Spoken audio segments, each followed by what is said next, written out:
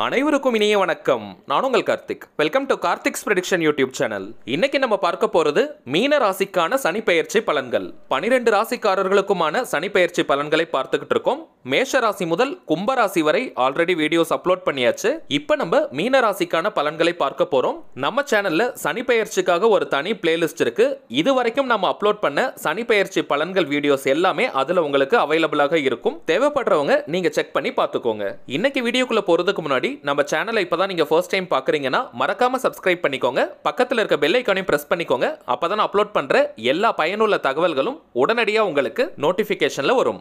வரவிருக்கும் சனி பெயர்ச்சி என்னைக்கு நடக்குதுன்னு பார்த்தோம்னா ரெண்டாயிரத்தி இருபத்தி மூணு ஜனவரி மாதம் பதினேழாம் தேதி செவ்வாய்க்கிழமை அன்னைக்கு மாலை நான்கு மணி பத்து நிமிடங்களுக்கு காலச்சக்கரத்திற்கு பத்தாவதாக இருக்கக்கூடிய மகர ராசியிலிருந்து பதினோராம் இடமான கும்ப ராசிக்கு சனி பகவான் பெயர்ச்சியாகிறார். சோ இப்ப நம்ம பார்க்க போகும் பலன்கள் அனைத்தும் ரெண்டாயிரத்தி இருபத்தி மூணு ஜனவரி மாதம் பதினேழாம் தேதியில இருந்து ரெண்டாயிரத்தி இருபத்தி அஞ்சு ஏப்ரல் மாதம் வரை பொருந்தும். கடந்த சனி பெயர்ச்சியில மீனராசிக்கு பதினோராம் இடமான லாபஸ்தானத்திலிருந்து பலன்களை கொடுத்துட்டு இருந்த சனி பகவான் வரவிருக்கும் சனி பெயர்ச்சியில இருந்து பனிரெண்டாம் இடமான விரயஸ்தானத்திலிருந்து பலன்களை கொடுக்க போகிறார். மிகவும் முக்கியமான விஷயம் மீனராசிக்கு ஏழரை சனி ஆரம்பம். ஏழரை சனி ஆரம்பிக்கிறதுனால மீனராசிக்காரர்கள் பயப்படவே வேண்டாம். இறை நம்பிக்கை பொறுமை விழிப்புணர்வு. இந்த மூன்று விஷயங்கள் மட்டும் உங்ககிட்ட இருந்தால் போதும். ஏழரை ஆண்டு காலத்தை உங்களால சுலபமாக கடக்க முடியும். இப்ப நம்ம பார்க்க போகும் விஷயங்களை உங்களுடைய வாழ்க்கையில நீங்க ஃபேஸ் பண்றதுக்கான வாய்ப்புகள் இருக்கு. அந்த தருணத்துல நீங்க எந்த மாதிரியான முடிவுகளை எடுக்கிறீங்கன்றது தான் ரொம்பவுமே முக்கியம். ஏழரை சனியில முதல் இரண்டரை ஆண்டுகள் விரய சனியாக இருக்கிறதுனால பணம் தொடர்பான விஷயங்களில் அதிகமான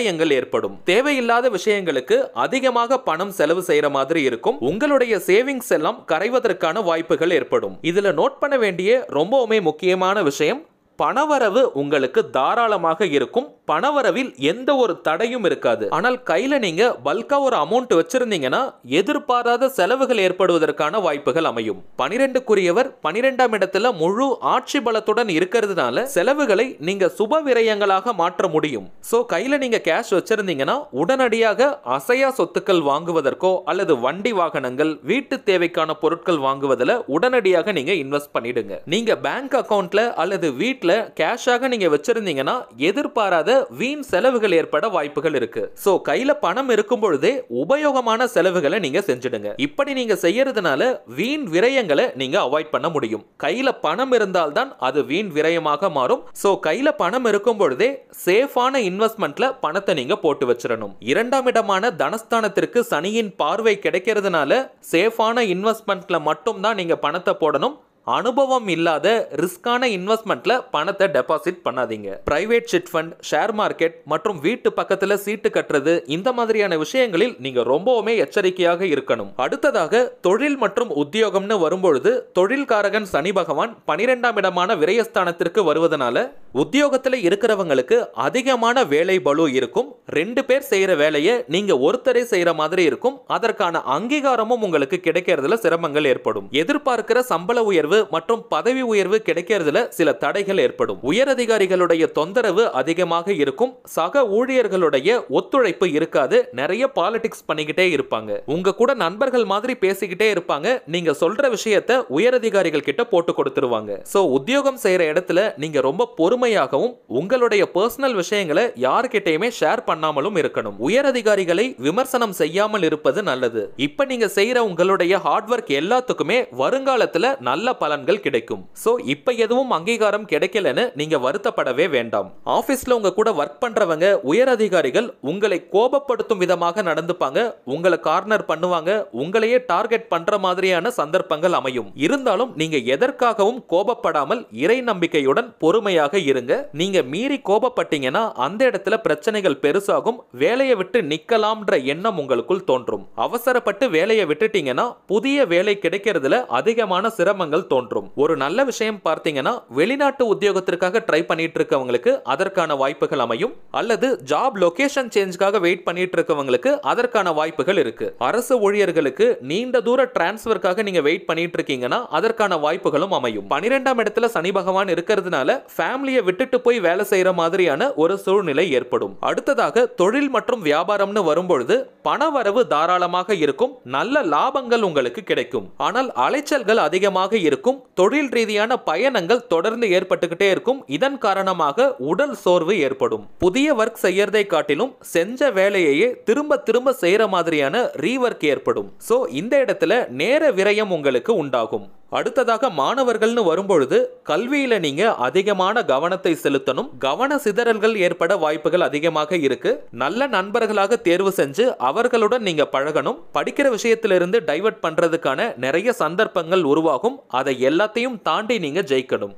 நீங்க விழிப்புணர்வுடன் எச்சரிக்கையாக இருக்கும் பொழுது யாராலையுமே உங்களை டைவர்ட் பண்ண முடியாது. சோ உங்களுடைய கவனத்தை படிப்புல செலுத்துறதுல மட்டுமே நீங்க உறுதியாக இருக்கணும். அடுத்ததாக திருமண வயதில் இருக்கக்கூடிய மீனராசி ஆண் பெண்களுக்கு இந்த ஏழரை சனி நடக்கிற நேரத்துல திருமணம் நடைபெறுமான்னு கேட்டீங்கன்னா நிறைய பேருக்கு திருமணம் ஏற்படும். அதுல எந்த ஒரு பெரிய தடைகளும் ஏற்படாது. திருமணம் தொடர்பான விஷயத்தை பொறுத்த வரைக்கும் உங்களுடைய சுய ஜாதகத்தை நீங்க ஒரு முறை பார்க்கணும். அதற்கு பிறகு திருமணத்திற்கான முடிவுகளை எடுக்கலாம். ஏழரை சனி நடக்கிற நேரத்துல திருமணம் தொடர்பான விஷயங்களில் சின்ன சின்ன தடைகள் ஏற்பட்டு நீங்கும். வரன்கள் தேடுற விஷயத்துல கொஞ்சம் எச்சரிக்கையாக நீங்க இருக்கணும். எடுத்தோம் கவிழ்த்தோம்னு நீங்க அவசர முடிவுகளை எடுக்கக்கூடாது. நல்லா அலசி ஆராய்ந்து அந்த வரனை நீங்க தேர்வு செய்யணும். திருமணம் நடக்கும். இருந்தாலும் அந்த வரன்களை நீங்க நல்லா செக் பண்ணணும். நல்லா வெரிஃபை பண்ணதுக்கு பிறகு தான் நீங்க செலக்ட் பண்ணணும். மனதிற்கு பிடித்த வரன்கள் அமையறதுல கொஞ்சம் தாமதம் ஏற்படும். இழுபறி இருக்கும். உடனடியாக முடியாது. சோ கொஞ்சம் நீங்க வெயிட் பண்ணி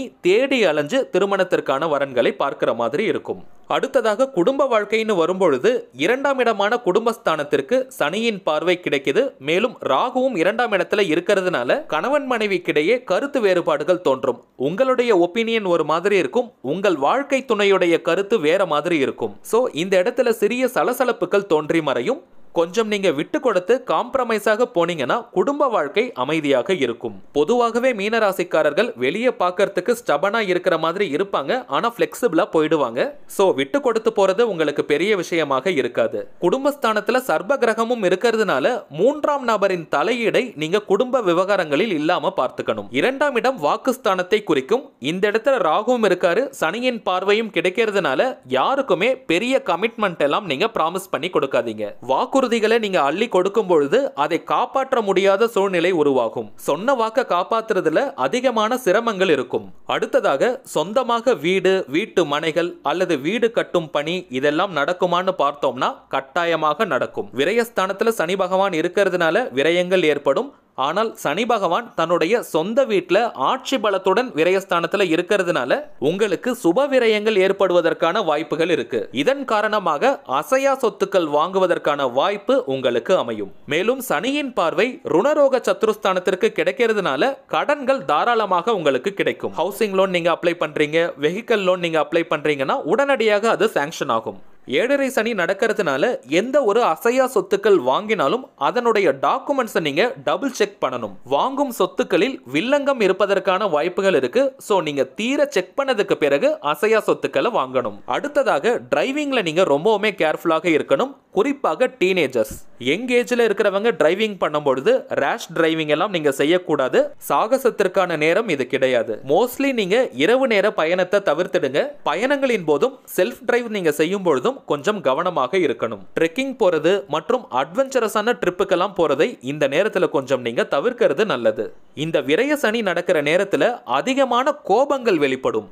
மனதில் ஆக்ரோஷமான எண்ணங்கள் வெளிப்படும். கடந்த காலத்தில் நடந்த கசப்பான விஷயங்களை நினச்சி நீங்கள் கோபப்படுவீங்க. ஸோ என்ன விரயங்கள் ஏற்படும்? விரய சனின்றது வெறும் பண விரயம் மட்டும் கிடையாதுங்க. அது பொருள் விரயமாகவும் இருக்கும் நேர விரயமாக இருக்கும் நம் எண்ண விரயங்களாக இருக்கும். அதனால மனதை நீங்க அமைதியாக வச்சுக்கணும். ருணரோக சத்ருஸ்தானத்திற்கு சனியின் பார்வை கிடைக்கிறதுனால தொழில் மற்றும் உத்தியோகத்துல நேர்முக அல்லது மறைமுக எதிரிகளால பிரச்சனைகள் இருக்கும். உங்களுக்கு சம்பந்தமே இல்லாத பிரச்சனைகள் உங்களை தேடி வரும் வரும் ஸோ நீங்கள் எதையுமே கண்டுக்காம அமைதியாக இருக்கணும். ஆறாம் இடத்திற்கு சனி பார்வை இருக்கிறதுனால உடல் ஆரோக்கியத்துல ஒரு மந்த நிலை ஏற்படும். டயர்டாக ஃபீல் பண்ணுவீங்க ரொம்ப லேசினஸாக இருக்கும். எந்த ஒரு காரியத்தை எடுத்தாலும் அதை அப்புறம் செய்யலாம்னு நீங்க தள்ளி போடுவீங்க. உடல் ரீதியாக எந்த ஒரு பாதிப்புகள் ஏற்பட்டாலும் நீங்களே செல்ஃப் மெடிகேஷன் எல்லாம் எடுக்க வேண்டாம். மருத்துவரை அணுகுவது உங்களுக்கு நல்லது. சனி பெயர்ச்சி ரெண்டாயிரத்தி இருபத்தி மூணு ஜனவரி மாதம் நடந்தாலும் கூட அதற்கான பலன்கள் மூன்று மாதங்களுக்கு முன்பிருந்தே நமக்கு கிடைக்கும். சோ மீனராசிக்காரர்கள் இப்பத்துல இருந்தே நீங்க கொஞ்சம் எச்சரிக்கையுடன் விழிப்புணர்வுடன் இறை பக்தியுடன் இருக்கணும். அடுத்ததாக பரிகாரங்கள்னு வரும்பொழுது பனிரெண்டு ராசிக்காரர்களுக்குமே நான் சொல்ற காமனான ஒரு பரிகாரம். காலை நேரத்துல காகத்திற்கு உங்களால முடிஞ்ச உணவு நீங்க கொடுங்க. இறை தேடுற நேரத்துல காகத்திற்கு உணவு கொடுக்கும் பொழுது அதற்கான பலன்கள் பல மடங்காக நமக்கு கிடைக்கும். மேலும் ஏழரை சனி ஆரம்பிக்கிறதுனால சனிக்கிழமை தோறும் நீங்க நவகிரகத்தில் இருக்கக்கூடிய சனி பகவானுக்கு நல்லெண்ணெய் தீபம் ஏத்திட்டு வாங்க. மூன்று மாதங்களுக்கு ஒரு முறை சனி பகவானுக்கு நீங்க கருப்பு நிற வஸ்திரம் வாங்கி கொடுத்து உங்களுடைய பெயர்ல ஒரு அர்ச்சனை பண்ணிட்டு வாங்க. மாதம் ஒரு சனிக்கிழமை நீங்க ஐம்பத்தோரு வெத்தலைகளால கட்டப்பட்ட மாலையை ஆஞ்சநேயருக்கு சாத்திட்டு வாங்க. அனைத்து காரிய தடைகளும் நீங்கி வெற்றி மாலைகள் உங்களுக்கு கிடைக்கும். தினமும் நீங்க உங்களுக்கு தெரிஞ்ச ஆஞ்சநேயருடைய மந்திரத்தையோ ஸ்லோகத்தையோ சொல்லிட்டு வாங்க. மகத்தான வெற்றிகள் உங்களை தேடி வரும். மீன ராசிக்காரர்களுக்கு என்னுடைய வாழ்த்துக்கள். சரிங்க அவ்வளவுதான் இந்த பதிவு. நிச்சயமா உங்களுக்கு பயனுள்ளதாக இருந்திருக்கும்னு நினைக்கிறேன். மேலும் இந்த வீடியோ உங்களுக்கு பிடிச்சிருந்தா மறக்காம லைக் பண்ணுங்க. நம்ம சேனலையும் சப்ஸ்கிரைப் பண்ணிக்கோங்க. தேவைப்பட்டுச்சுன்னா உங்க ஃப்ரெண்ட்ஸ் அண்ட் ஃபேமிலிக்கு இந்த வீடியோவை ஷேர் பண்ணுங்க. அடுத்ததா இன்னொரு முக்கியமான தலைப்போட நான் உங்களை சந்திக்கிறேன். என்றும் அன்புடன் கார்த்திக். நன்றி.